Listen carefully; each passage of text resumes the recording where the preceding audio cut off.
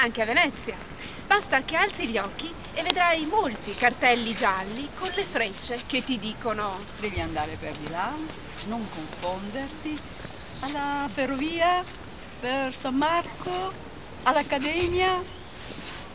lasciali perdere, snobbali pure, Perché? Vuoi combattere contro il labirinto? assecondalo per una volta.